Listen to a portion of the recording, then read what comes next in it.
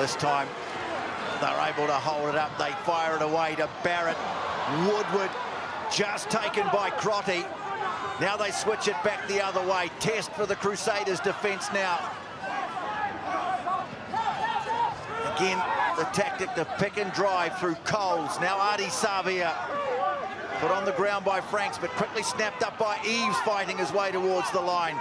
Romano makes the tackle, has to roll away. And now it's Fatia Lofa having a drive at the line. They have another go. Fifita it was, now Shields. Good defence from the Crusaders. Can they continue to hold out? They go to Barrett, pops it up, and Woodward is through. Takes it quickly, just not giving them any time to settle down, the Hurricanes, and they get it wide. Woodward thought about the offload, wisely held on to it. Although the Crusaders have got hands on it, they've got it away to McNicholl, and Crotty's in for the try.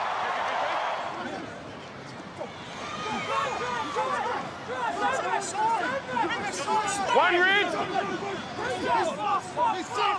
Same ball. Same ball. Codie Taylor not really able to get anywhere. Here go, go. Wrestled to the ground by Shields. Back to drop, kick charge by Perenara. Loose, Perenara scores! No advantage. Hey, Woodward thinking about taking it quickly.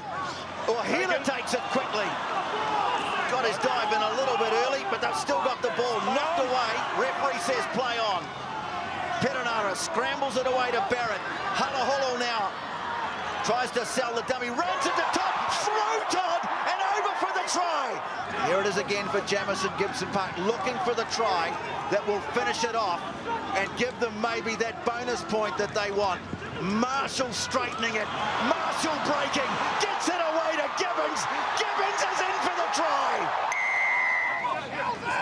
Time almost up. The ball squirts clear to Cory Jane. He'll enjoy this. Or Healer. Another pick and go. This time Ardie Savea.